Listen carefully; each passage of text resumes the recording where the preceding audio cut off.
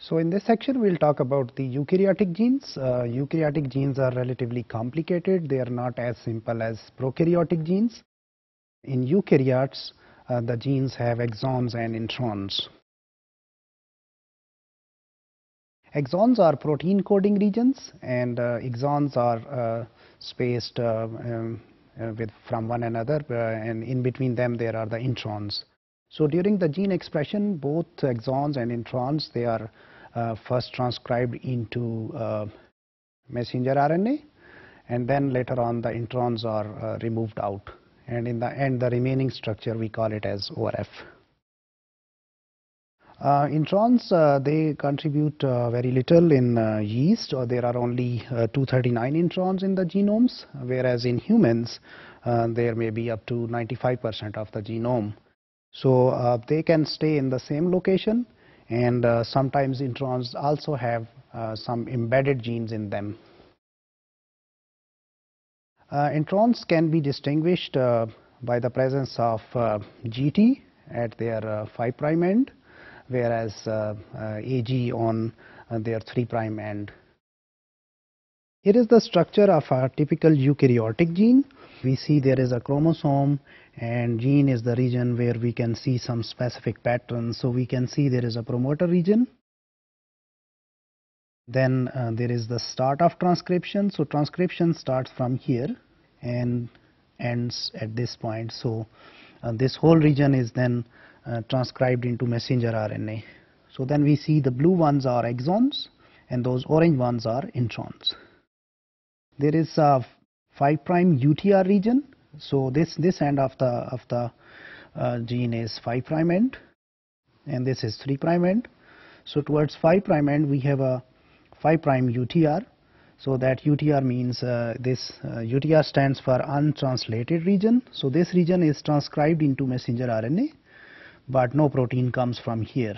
So that region stays as untranscribed. The same way towards 3 prime end we also have a 3 prime UTR.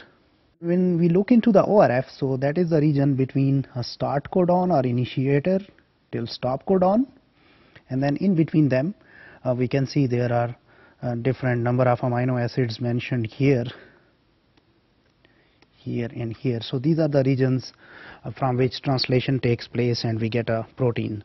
This uh, after transcription, uh, the transcript is called as primary transcript. So here we can see that primary transcript has containing those introns also, which are later on removed through a process called as splicing, and then we find a mature RNA transcript. So that transcript then is translated into the proteins. So this um, messenger RNA transcript, uh, which is the mature transcript, is also recognized by the presence of a poly A tail. So there is a long run of A's in the end it's called as poly A tail. So about the origin of intron, introns there are two theories. Number one is intron early. So according to this the introns uh, they used to assemble the genes from already existing exons. So they brought the exons together and then these uh, structures they became the genes. And there is another hypothesis that the exons was already uh, present with one another and then introns they get into them so that is called as intron late hypothesis.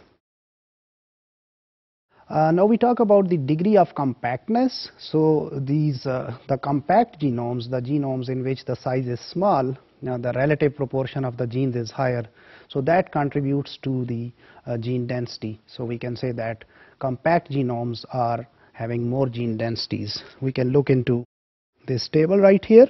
So here we have different genomes, mostly eukaryotes, and we see that the size of the genome in Arabidopsis is 130 MB and the number of genes is approximately 25,000. E. coli, one prokaryote bacteria is here, genome size is 4.7 and there are over 4,000 genes. In humans, the genome size is 3000 MB. MB here is not megabytes, it's um, megabase pairs. So we have 45,000 to expected genes, uh, which is actually 45,000 to 120,000, uh, though around slightly over 30,000 they have been identified. So if we look into those smaller organisms like the organisms which are having those smaller genomes, and if we take the number of genes and divide that into the uh, genome size, we will see that they have more densities as compared to the larger genomes. Pseudogenes are non-functional genes, so sometimes there are some mutations in the genes and if those mutations are there in some important regions, and then those genes, uh, their functions, they get knocked out. So we call those genes as pseudogenes. Uh, there is one category called as processed pseudogenes, so they lack introns and promoters as well. Here is a di diagram in which we see that from a normal gene, uh, there is a pseudogene which is formed here. So we look into its 5 prime end. So there is a region in which those 23 bases they have been deleted. In addition to that, initiation codon. So those bases are deleted from the promoter region. So promoter must have some important patterns in, in that. So in this case, these deletions are lethal. Same way in the start codon, we see rather than ATG, it's GTG. We also see mutations in the splice sites rather than GT it's GC again here we also see some other small deletions so in the end we see in exon 2 there are other 20 bases which are also being deleted so in this way this normal gene has become now a pseudogene sometimes the genes uh, they uh, have similar sequences and they have similar functions so if we try to find out the similar genes within an organisms or between different organisms. So those group of genes performing similar functions, they can be categorized as gene families. So gene families, they arise uh, from gene uh, duplication events. Here is the example of gene duplication. Uh, we have human globin gene. So first duplication gave rise to two types of globins. One is myoglobins and then we have globins on one side and within the globins we also see alpha and beta globins. So this process is called as uh, gene duplication. So in the end we conclude that eukaryotic genes have exons and introns in them and introns make up significant proportion of the, uh, of the higher organisms genomes and pseudogenes are non-functional genes and the genes which are similar in function uh, they make up the gene families.